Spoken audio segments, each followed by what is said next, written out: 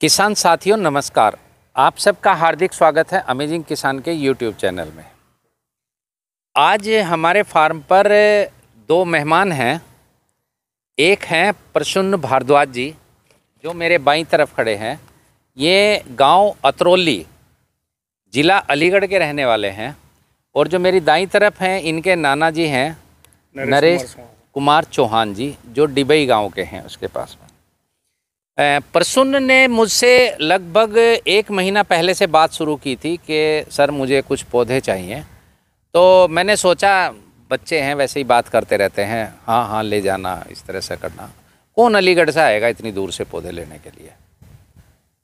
लेकिन कुछ लोग होते हैं जो मुझे बहुत प्यार करते हैं और सम्मान भी देते हैं और मुझ पर विश्वास भी करते हैं। और मुझे उम्मीद है कि मैं इस विश्वास को कायम रखूँगा। क्योंकि मेरी एक ही चीज़ की गारंटी है कि जो चीज़ मैं कहता हूँ वो मिलेगी और बहुत स्वस्थ मिलेगी वो। जैसे अलीगढ़ में मेरे सबसे, बहुत अच्छे एक किसान हैं, डॉक्टर विजय कुमार गौतम, जो जलेसर तहसील है, उसके हैं, वैसे वो एटा ज़िले में पड़ता है, लेकिन अक्सर वहाँ से निकलकर जब मैं जाता हूँ तो उनके पास जाता हूँ और मुझे उनकी याद आ जाती है। किसान साथियों इन्होंने लगभग साढ़े चार सौ पेड़ मुझसे लिए हैं जिसमें से अमरूद की विभिन्न प्रजातियाँ हैं। वो प्रसून्न जी बताएँगे क्या क्या लिए मैं नरेश जी से बात करूँगा कि उन्होंने इतनी दूर आकर हमारी नर्सरी को ही क्यों चुना हमारे से पौधे लेने का निर्णय क्यों लिया? परिचय दीजिए पहले सर मेरा नाम प्रसून भारद्वाज है। मैं अतरौली तहसील का ज़िला अलीगढ़ का रहने वाला हूँ। और खेती के मामले में मैं बहुत ही अग्रसर हूँ और इससे एक प्रेम सा हो गया है। और अमरूद और बागवानी के क्षेत्र में मैंने आपकी वीडियो देखी तो मुझे एक अलग ही आपकी बातों में सच्चाई और विश्वास कायम हुआ। मैंने कहा कि स, कोई व्यक्ति है जो एक बागवानी के क्षेत्र में अग्रसर है और किसानों के लिए कुछ करने के लिए तत्पर है। तो मैंने सर के पास आया वीडियो देखने के बाद और मैंने सर से अमरूद के ताइवान पिंक ताइवान वाइट और हिसार सफ़ेदा कुछ अन्य प्रजाति भी सर अच्छा प्रसन्न जी प्रसन्न जी के बारे में मैं थोड़ा और बताना चाहूँगा। प्रसन्न जी बहुत पढ़े लिखे इंसान हैं और थोड़ा सा अपनी बैकग्राउंड और जो क्वालिफिकेशन है वो भी बताएँगे। मैंने एमएससी मैथ से किया है एसएम कॉलेज चंदोसी से और एमएससी इलेक्ट्रॉनिक्स में डीएन कॉलेज मेरठ से किया है और बीएड किया है। मैं शिक्षा के क्षेत्र में जा चुका था और एक पीजीटी फिजिक्स की नौकरी छोड़ने के बाद मैं किसान और खेती के क्षेत्र में उतरा जिससे कि हमारे अपने किसान भाइयों को कुछ ना कुछ इसका लाभ मिल सके मुझे पता चला है कि आपको कुछ पुरस्कार भी मिले हैं इसमें जो जी। जिला लेवल पर है हाँ जी मैं एक अलीगढ़ ज़िले में एक ठाकुर मानवेंद्र प्रताप सिंह माननीय एमएलसी के द्वारा सम्मानित हूँ और किसानों के लिए एक मिसाल बनकर उसमें हुआ हूँ और ग्यारहवा नंबर आया हुआ है मेरा।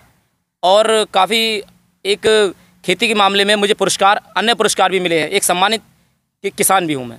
अब मिलते हैं इनके नाना जी से और ये जानने की कोशिश करेंगे कि इन्होंने प्रसन्न भारद्वाज को ये क्यों किया, प्रेरित किया कि आप नौकरी छोड़कर आप जो है ना इसमें खेती में करो। तो ये इनके नाना जी हैं आप चौहान साहब, अपना परिचय दीजिए। जी, मैं नरेश कुमार चौहान, गाँव खरकबारी डिवाई से हूँ, जिला बुलंदसर से हूँ। मैं शिक्षा के क्षेत्र में एमए हिंदी साहित्य व संस्कृत साहित्य से हूँ। लेकिन मेरी रोचकता कृषि में अधिक होने के कारण ही मैंने प्रसून जी को प्रेरित किया कि वो भी कृषि में आएँ। मैंने यूट्यूब पर सर जी की वीडियो देखी और उस वीडियो से मैं इतना प्रभावित हुआ कि मैंने प्रसून भारद्वाज को इतना प्रेरित किया कि वहाँ से हम पौधे लेने अवश्य चलेंगे। क्योंकि यहाँ पर हमें क्वालिटी या और जो विश्वास है वो विश्वास की खातिर ही हम यहाँ से पौधे लेने चौहान साहब एक बात और बताइए। जी, सर। यूट्यूब पर तो बहुत वीडियो हैं। मेरी तो इतनी वीडियो नहीं चलती ज़्यादा व्यूज़ भी नहीं है। जी, सर। और लोग सोचते हैं मुझे बहुत इससे धन की प्राप्ति हो रही है ऐसा भी कुछ नहीं है। जी सर। तो आप मेरी वीडियो ही क्यों पसंद करते हैं इस क्षेत्र में? आपकी वीडियो में सच्चाई अधिक है। बल्कि और जगह देखी जाए तो और वीडियो वो और काफ़ी वीडियो देखी लेकिन वहाँ काल्पनिकता अधिक है लेकिन यहाँ हमें काल्पनिकता कोई देखने को नहीं मिली। इसलिए ही आपकी वीडियो हम अधिक पसंद करते हैं। मतलब जैसा मैं वीडियो में बताता हूँ वैसा ही फार्म मिला उसी तरह से मिला जी, कोई जी। ऐसी वही सब कुछ मिला मेरे पास रोज़ लगभग दूर दूर से किसान आते हैं और मेरे ज़िले के भी अब काफ़ी किसान जुड़ने लगे हैं। मैं उनको ये भी बताता हूँ कि सलाह सही मिले उनको। जैसे कल एक किसान आए कि कहने लगे कि मुझे दस बीघा में अंजीर लगानी है। तो मैंने उनको बताया कि आप अपने इस निर्णय पर पुनर्विचार करें और कुछ और सोचें। तो उन्होंने कहा कि मैं कुछ दिन में आता हूँ।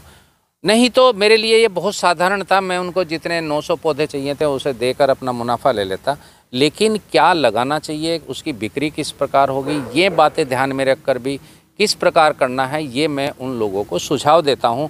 शायद यही कारण है कि प्रतिवर्ष धीरे धीरे ये काम बढ़ रहा है और मेरी लिप्तता इसमें अधिक हो रही है और मुझे बहुत अच्छा लगता है जब लोग विश्वास कराते हैं। मैं कोशिश करूँगा कि ये विश्वास उनका बने। इसी के साथ विदा लेता हूँ। धन्यवाद, नमस्कार, जय हिंद, जय भारत, वंदे मातरम।